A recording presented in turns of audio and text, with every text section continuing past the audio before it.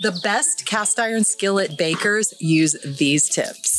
Number one, use a pastry brush to grease your skillet. Number two, coat it with flour. It's going to make your life so much easier. And here's another thing that I do is I do a little piece of parchment paper just in the bottom of the skillet when I'm baking makes life so much easier. All right. And our last tip is to use a butter knife to loosen around the edges of the skillet before you take your baked goods out.